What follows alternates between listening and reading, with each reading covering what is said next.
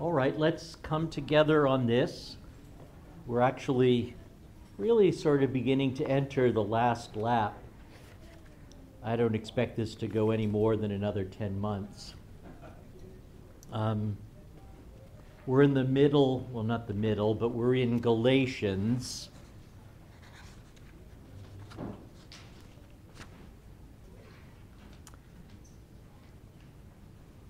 And I'll open with prayer.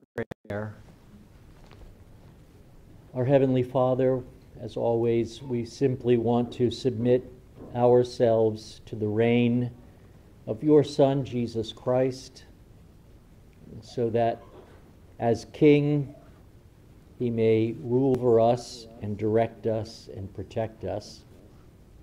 And as prophet, he may speak to us from the Word. And we look to your Holy Spirit to be the source of, of confirming that what's in front of us is the Word of God and that we can be trained in righteousness, in wisdom, in holiness, in love. And we ask you to be at work in our midst to that end. So bless your word, we pray, as we consider it, for we ask this through Christ. Amen. Okay, we're in that little tricky spot in Galatians. Um, we'll go back for a moment to 310.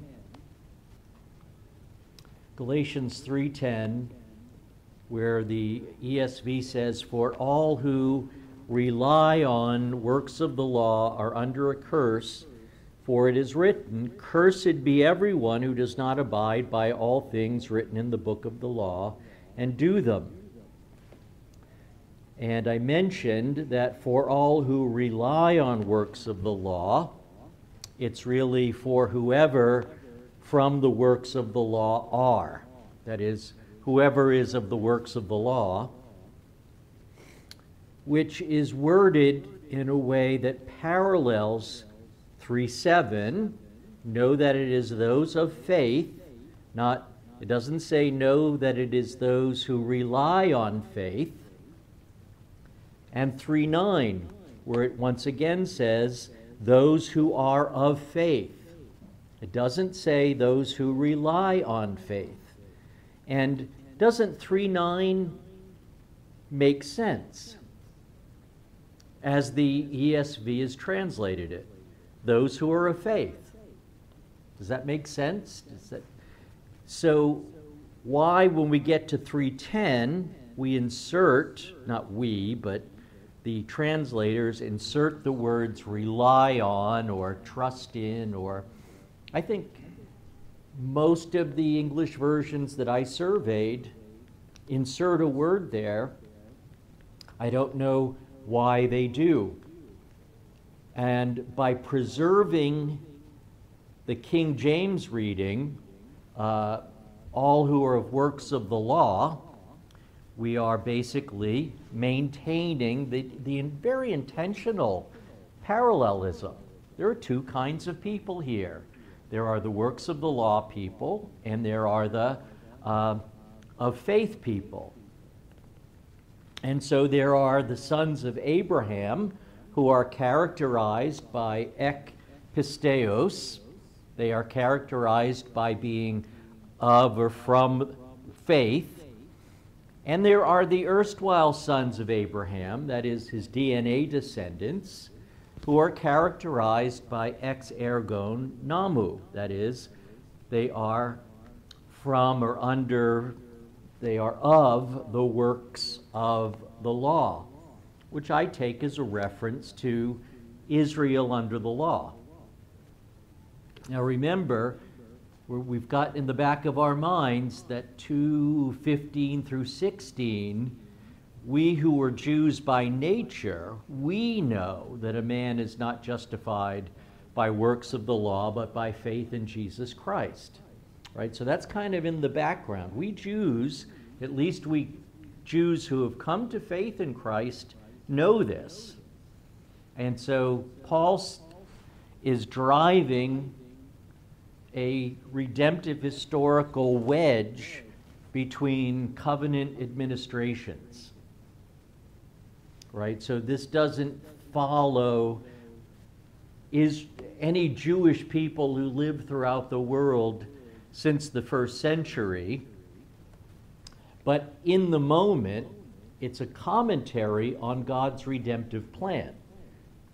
Right? There is the works of the law phase, which involved the sons of Abraham, but that was preliminary and preparatory, bringing us to the age that we are in, the age of freedom in Christ.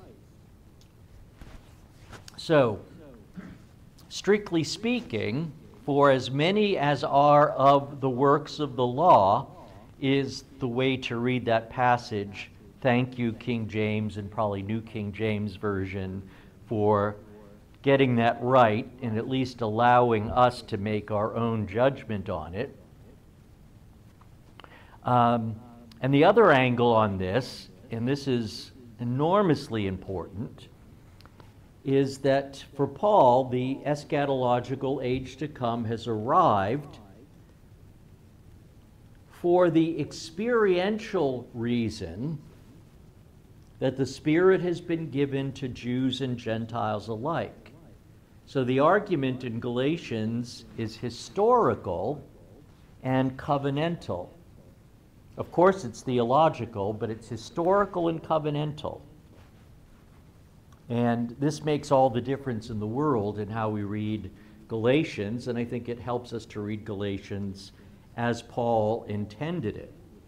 And so Peter's mistake was in the age of the Spirit, when spirit filled Peter ate with spirit filled Gentiles, sharing that wonderful common faith in Jesus Christ to divert from that under peer pressure and return in some ways to the, the division that God Himself created is to attack the truth of the gospel, right?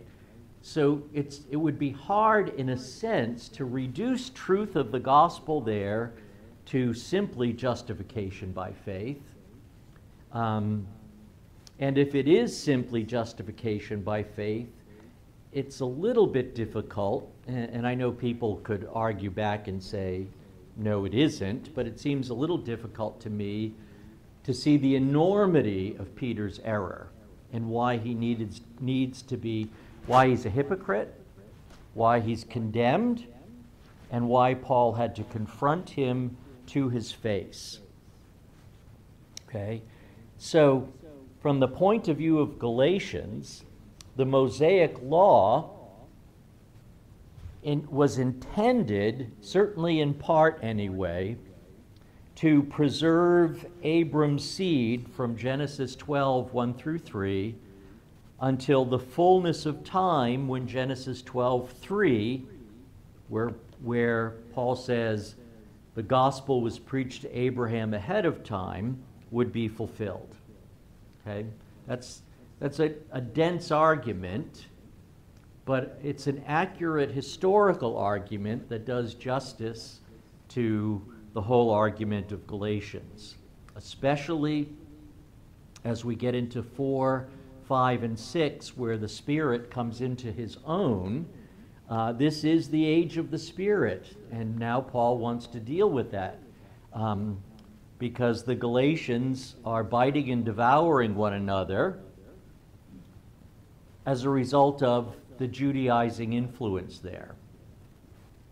Okay? So, with that in mind, we're going to skip Galatians 1:23 and go back to Galatians 2 1 through 7 where our gospel words are used three times. Then, says Paul, he's reflecting on his career, which began, as we know from the book of Acts, with a direct revelation from the Lord Jesus Christ. And Paul insists that his apostleship is as legitimate and as authoritative as any other apostleship because it pleased God to reveal his Son in me or to me. Okay, so that's important in Galatians. There's Jerusalem. Jerusalem is like Rome and um, Constantinople and what other great centers? Canterbury, right? Centers of the Christian religion. All of that and more. And that's where the big guys are. Tulsa, yeah, Tulsa, of course, Tulsa. Horsham for the OPC. Does anyone even know where Horsham is? You would, yeah. Pennsylvania. Yeah. Um, so whatever you're, this is like and in a sense, that's understandable if you have the Old Testament. These are the men who walked with Jesus, and they are at the center of the Jewish world. Okay, so this allows the critics to sort of worm their way in and raise questions about Paul's authority. Did he walk with Jesus? Was he with Jesus for th- was he there on the night Jesus was betrayed? No. He's kind of a Paulie come lately, right? Um, well, Paul says, hey, not a chance. I had an encounter with Jesus. I didn't learn my gospel from any human beings. So I'm not reliant on anyone. So, you know, his relative humility in 1 Corinthians 15, where he talks about being the last one, uh, is now balanced when he has to flex his muscles a little bit because maybe he's kind of a second level apostle. And Paul says, not a chance. In fact, and now we'll get into the text. Then, after 14 years, I am on, yeah. I went up again to Jerusalem with Barnabas, taking Titus along with me. I went up because of a revelation and set before them, though privately, before those who seemed influential, I set before them privately the gospel that I proclaim among the Gentiles. And there's one of our gospel words, in order to make sure I was not running or had run in vain. But even Titus, who was with me, was not forced to be circumcised, though he was a Greek. Yet because of false brothers secretly brought in, who slipped in to spy out our freedom that we have in Christ Jesus, so that they might bring us into slavery. What's slavery here? I think so. It's a return to some lifestyle that's characteristic of um, faithful Judaism under the law. To them we did not yield in submission even for a moment so that, and here's that phrase again, the truth of the gospel might be preserved for you. So apparently, I mean, this is a little bit of palace intrigue, right? Paul is going up to talk to the, the big wigs in Jerusalem, and there are people in the orbit of the big wigs who have an agenda and are sort of, you know, they're wiretapping the meeting to find out what's going on, and they want to somehow interfere with the Pauline Gentile mission, evidenced by apparently some level of pressure put on Paul to make sure Titus was circumcised. And from those who seem to be influential, what they were makes no difference to me. God shows no partiality. Those, I say, who seemed influential added nothing to me. On the contrary, when they saw that I had been entrusted with the gospel, third use, to the uncircumcised, just as Peter had been entrusted with the gospel to the circumcised. Now, there, there are backstories here that we sort of have to recreate from the text itself, and I think we can do a relatively credible job doing that. But if you come to this passage without the preconceived idea that Paul is arguing for justification by faith alone and for a Torah free gospel, um, sorry, I wrote this a couple of weeks ago. Let me rephrase that. If you listen to that passage without, that's what I should have said, the preconceived idea that Paul is arguing for justification by faith alone and for a Torah free gospel for the Gentiles, then you can hear it. That there's more going on here than the narrower debate about how people are saved.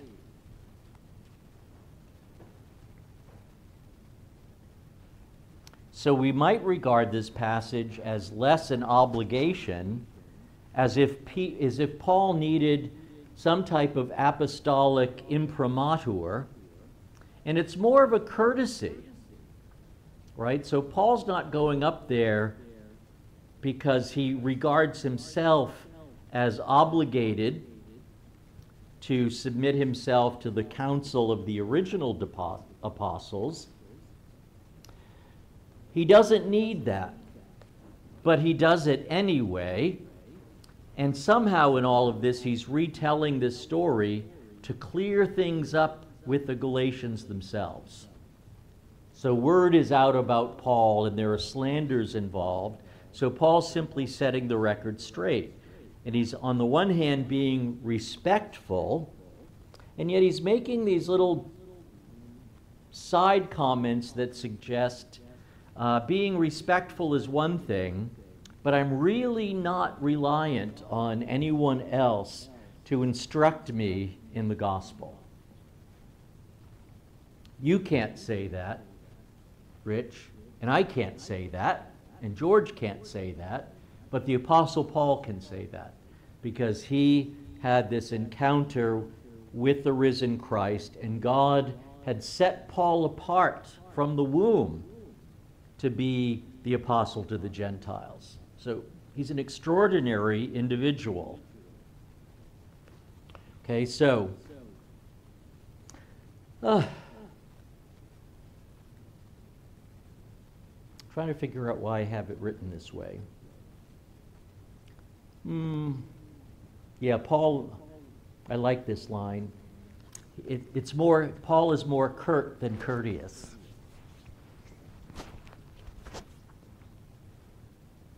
Uh, I'm trying to figure out why I did what I did here. Because I say to myself, let's look at 1 4 through 5 before we revisit the Antioch controversy. Ah, I must have meant 2 4 through 5. So, false brothers secretly brought in, who slipped in to spy out our freedom that we have in Christ Jesus, so that they might bring us into slavery. To them we did not yield in submission even for a moment, so that the truth of the gospel might be preserved for you. And so now, rereading what we read earlier, we've got this idea that the truth of the gospel is at stake. No one's going to circumcise Titus because the truth of the gospel is at stake. No one needs to tell me what the gospel is, but I will submit to my brothers and allow them to evaluate my work. But it's not like they're my superiors. But what's at stake here is the truth of the gospel being preserved for you. Now, I take the you there to be the Galatians, but by extension, the Gentiles. Now, on to Antioch and Peter's departure from the truth of the gospel. But when Cephas came to Antioch, I opposed him to his face because he stood condemned. For before certain men came from James, and James is one of the pillars in Jerusalem, he was eating with the Gentiles. But when they came, he drew back and separated himself, fearing the circumcision. And the rest of the Jews acted hypocritically along with him, so that even Barnabas was led astray by their hypocrisy. But when I saw that their conduct was not in step with the truth of the gospel, same phrase, I said to Cephas before them all, If you, though a Jew, lived like a Gentile and not like a Jew, how can you force the Gentiles to Judaize? That is, to live like Jews. So, in order to make sense of all of this, the church relied on, the Christian church, historically, relied on what has come to be known as the ceremonial law.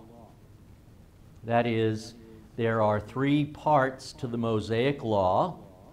There's a moral core, there is the judicial law, which is not quite exclusively for Israel, but mostly our confession allows a loophole there that people drive Mack trucks through in order to resurrect even the judicial law, and then the ceremonial law.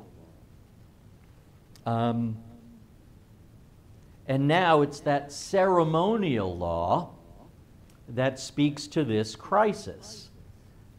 Okay, now I don't think there is a ceremonial law. I think there's the law and it includes commandments that have an enduring character, that are true always and everywhere, but they became especially true covenantally in Israel under the law. Judicial laws, most Christians take it for granted that we don't even try to have the authorities implement the judicial law, right? If you ever look at the judicial law, you can't imagine a, a free Western democratic society implementing it. And then, of course, there are the ceremonies. Now, there's actually nothing inherently um, disparaging about the word ceremony or ceremonial, right? But as it came to be used, especially in Protestant Catholic debates, you, you can pick up a little bit a dismissiveness about ceremonies as if they were merely superficial expressions of a works religion. And obviously, so we say, that was done away with completely because it's been fulfilled in the work of Christ. So the ceremonial law now becomes that thing which the Judaizers were trying to resurrect and implement in the Gentile churches. Does this sound familiar? And circumcision is a ceremony. If you actually read about circumcision, both in the Bible and in um, extra biblical literature, it doesn't come off as a ceremony any more than we would think of baptism as a ceremony. It's a bloody initiation into the covenant community. And Moses found out that when you don't circumcise your son, God comes after you, which seems to me to be more than uh, a ceremonial faux pas, right? It's only his wife who circumcises their son and basically keeps God's wrath away from their family. So it's that nagging ceremonial law that keeps opposing justification by faith alone. But the whole argument, I think, is a misunderstanding of the role of law and works in the book of Galatians. In fairness to the Reformation, I think they got all the answers right, even if they didn't quite get the math right. You read Galatians and you read the story of Jesus in the Gospels, and you're basically looking at the first century version of the papacy. And that's how he saw it, and as did other reformers.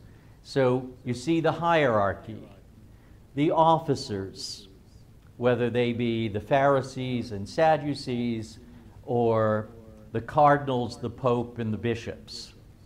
You see all the, the efforts to invent ways of having your sins forgiven and the, the methodologies, and it just seemed to line up point by point.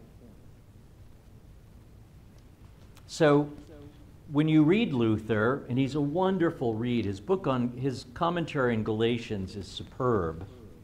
It was just easy to see that Roman Catholicism, with its villains, was really just an updated group of Pharisees as the original villains in the gospel.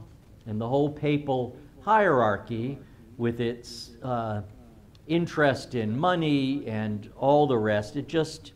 So, what could be more obvious than from Galatians, works versus faith? And at the level of substance, Luther was right. It is a faith versus works controversy.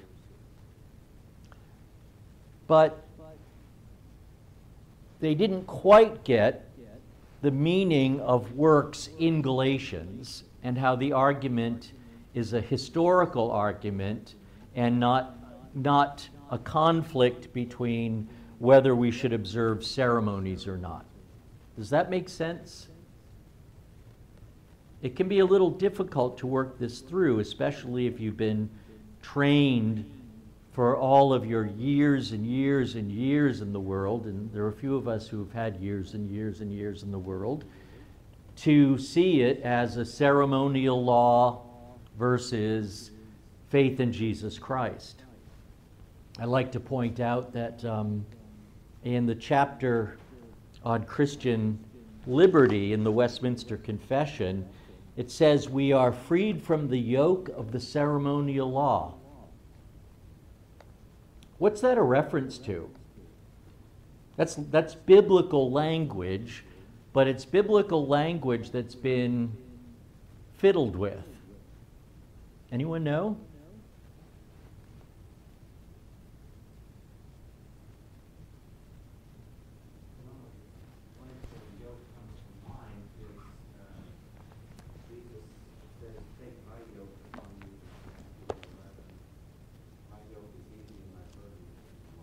Yes, and I think that's that is an intentional reference to the yoke. Yoke appears in Galatians, right?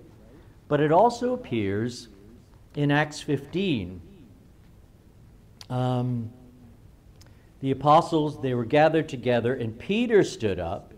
Peter, of all people, considering what happened in Galatia or what happened in Antioch, Brothers, you know that in the early days God made a choice among you that by my mouth the Gentiles should hear the word of the gospel and believe.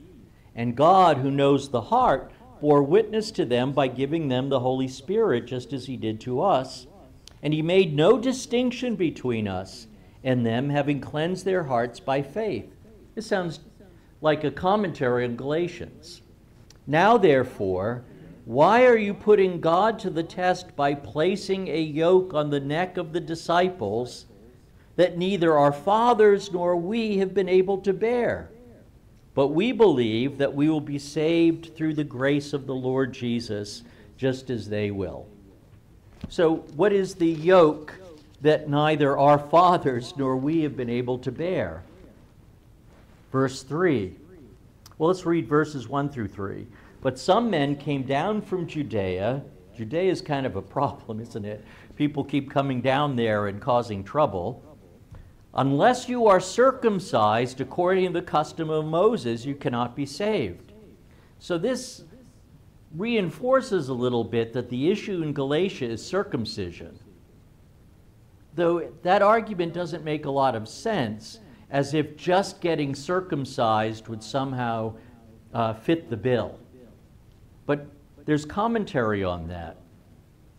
After that, Paul and Barnabas had no small dissension and debate with them. Paul and Barnabas and some of the others were appointed to go up to Jerusalem to the apostles and the elders about this question.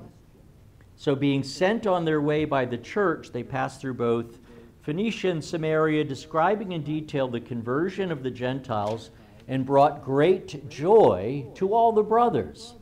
When they came to Jerusalem, some people say this is Acts or Galatians 2. Others don't think so, and there's never been a consensus on Galatians 2 in the Acts historical framework. But when they came to Jerusalem, they were welcomed by the church and the apostles and the elders, and they declared all that God had done with them. But some believers, apparently they're Christians, who belonged to the party of the Pharisees, rose up and said, It is necessary to circumcise them and to order them to keep the law of Moses. Okay, so it's not circumcision in the abstract that's the issue, it's circumcision as the entry right for law keeping. And Peter's argument is, in effect, did that ever work for us? Does anyone remember the exile? Does anyone remember the prophets? Does any, anyone remember how in story after story in the Bible, bad kings brought lawlessness and curse upon the people. We don't have a great history here. So, why, at this stage in redemption, after the people of God received the Spirit, just as we did on the day of Pentecost, right? He's talking about um, Cornelius and his household. Why? After all of this, would we now turn around and say, okay, let's, let's dust off the law of Moses and make that our rule for living? That's what's going on, I think, in Galatians. So Luther was right on the substance. The mistake is found in the way we've read Paul's redemptive historical contrast. It's between two covenants. We tried to cover this in the Galatians Bible study. Maybe that's on tape if you're interested. Um, but I think largely this is the right way to read Galatians, and it makes the most sense of the letter. Now, I have a couple of more things to say about Galatians, but does anyone want to ask a question at this point?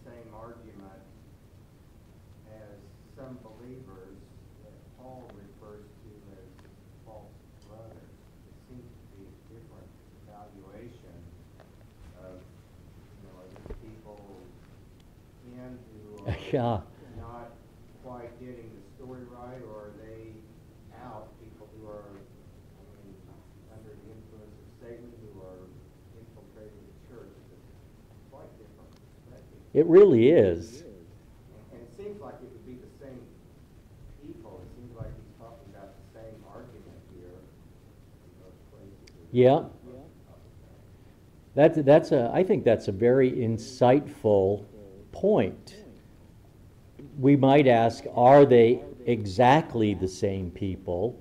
Could it be possible in a bigger conversation that the Acts 15 people are authentic and well intentioned, but just wrong. And then there's the Galatians 2 people who are motivated with sinister motives and satanic. Or could they be the same people, and Luke is being charitable, and Paul, who's given to polemics, is being uh, Luther like and a bit nasty?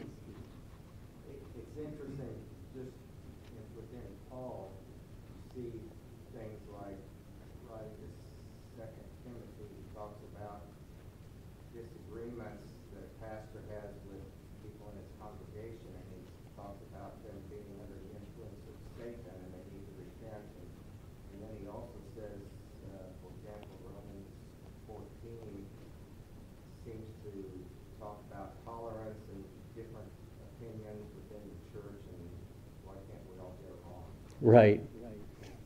Yeah. I, I think one thing that might help make that um, distinction clearer is spending 40 years in the church, where you realize there are misguided people who've carried over who knows what kind of superstition or belief into their Christian faith, but are genuinely Christian, and people who are intentionally troublemakers. And I, I think in my experience, I could say I've seen both. Um, there's that, we looked at this in the, past, in the pastoral epistle study, and I can't remember off the top of my head where it is, but Paul tells, I believe it's Timothy, that if, there, if there's a divisive person in the congregation, warn him once or twice and then kick him out. And Presbyterians can't do that. And it makes me think, why not?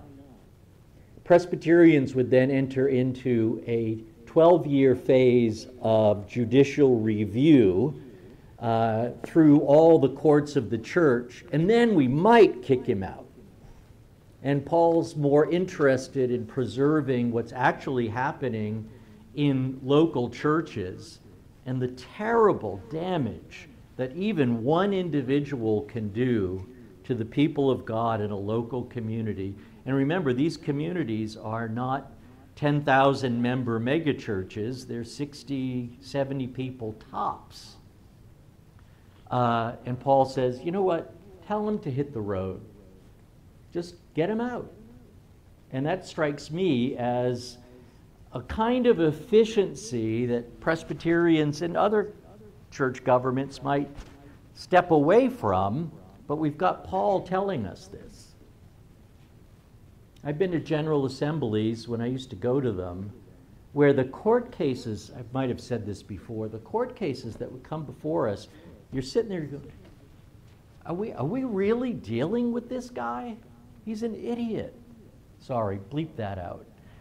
I'm not allowed to say that. But, you know, we had a guy who, he was just a pain in the neck. And now he's got the entire representative body of the Orthodox Presbyterian Church listening to his case because he did something kind of nasty to some kids in the church.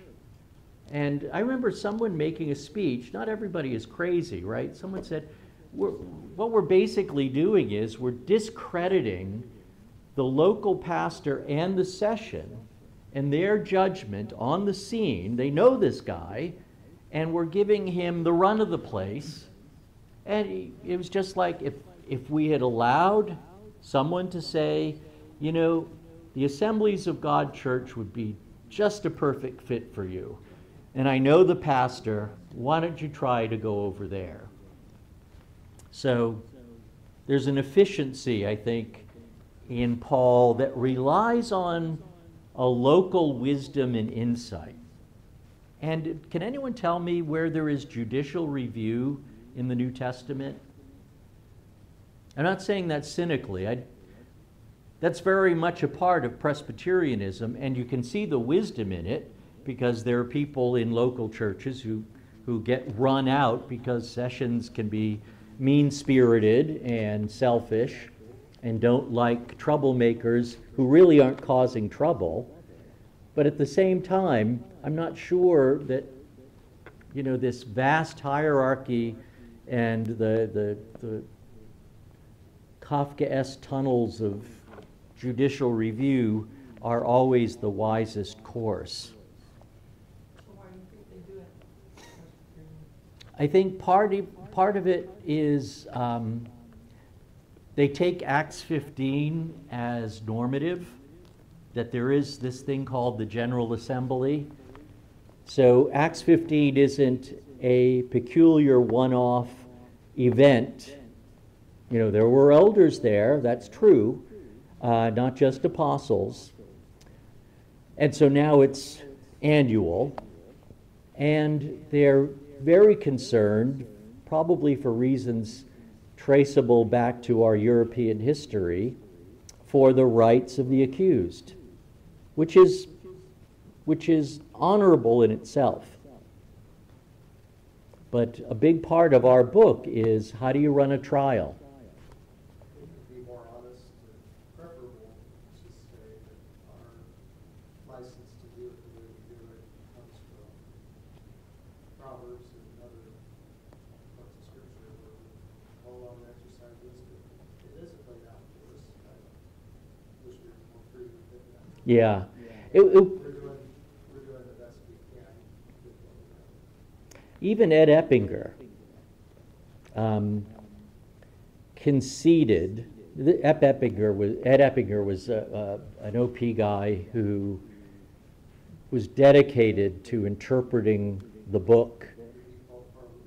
Yes, he was the default parliamentarian. Eh, whenever we met, he said that our judicial system was based more on English common law than it was on the Bible. Yeah, I, I think it's impossible within Christendom to try to separate the development of church and the development of government. I mean, if you look at our judicial system, it's very much parallel with our, in America, the court and appellate court and Supreme Court and all that. Yes, I, I agree. Procedures, even with the procedures within, you know, uh, our, our uh, courts, uh, very much parallel common law in in the United States and England. I think George makes a good point. It would be nice just to say that. Because we are concerned about the rights of the accused, and we really don't trust local churches to do what's best. They're not always wise. Um, but nevertheless, we have to have some uh, way to, we have, there has to be apparatus in place to protect the rights of the accused and to um, allow for larger gatherings of TEs and REs to make judgments on local situations.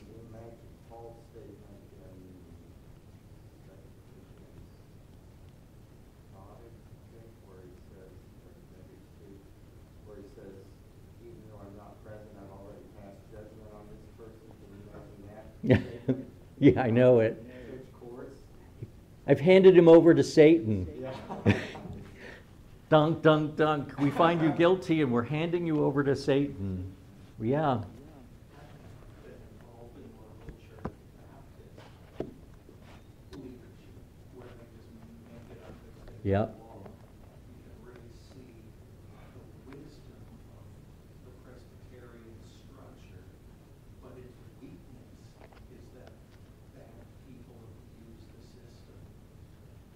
Yes, I, I think that's a great point, Rich. It's easy for me to sort of, you know, with a little bit of detachment say, uh, look how we do things and are they biblical? Go to another church and see how they do things, and you may come running back to Presbyterianism uh, because of the consequences of what happens when you don't have an overseeing body. I think you could look at, um, Matthew fifteen, where Jesus says, take it to the church, and you could ask the local church, is that only the local church, or is it the larger church? At least then, an appeal systems on that. Yeah, uh, you know, and even the idea that we Presbyterians don't take things to the church if the word church means the people who are gathered. If there's something that has to be handled in a disciplinary sense, we protect the individual involved until a decision is made. So we don't just parade someone right before the congregation once, um, you know, George and Jean couldn't settle their dis, you know. So now we bring everybody come sit down. Here's George. Here's Jean. They're gonna. You tell us what you want us to do. It's really hard to imagine that Jesus met at the time there was an accusation that the church should get together and have a vote. You know it. Is that really what he meant? Take it to the church is, is far from Yes. And, and so if you said that's our only standard, well, people would argue forever about what exactly that is. Yeah, I will, I would put a footnote on that. This brings into sharper relief how much time the apostles spend saying, just give everybody a break. Don't treat everything like it's a judicial controversy, right? Peter says, love covers a multitude of sins. So the whole idea is if it's gotten to the point where there has to be any type of formal sessional investment, there have been all sorts of failures along the way, or at least highly likely, because you're all looking out for your rights. And that's what you find in judicial cases. That when it comes to me, the individual involved, I'm so offended and I'm so aggrieved that everybody needs to know about it. And an outside Christian observer might go, couldn't you just, you know, let that go? What's at stake here? This will be the end of all things. There was a, uh, an American founding father who said something to the effect of, this system is designed for moral and righteous people, and it won't work. John Adams. It won't work for anybody else. That kind of applies to church governance, and when we get wolves and goats coming in, I think that's when we start looking at how Adams.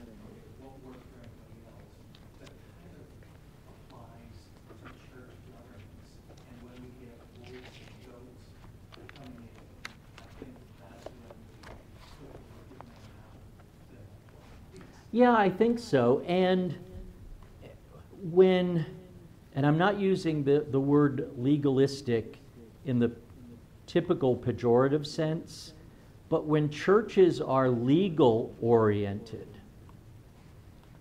then the possibility of some type of judicial investigation and judgment uh, were litigious in the Presbyterian Church.